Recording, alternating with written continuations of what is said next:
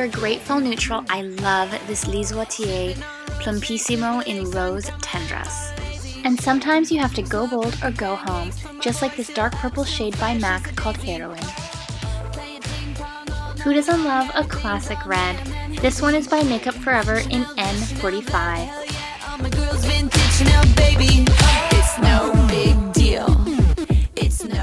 My absolute favorite for fall is this NYX Butter Lipstick in Licorice.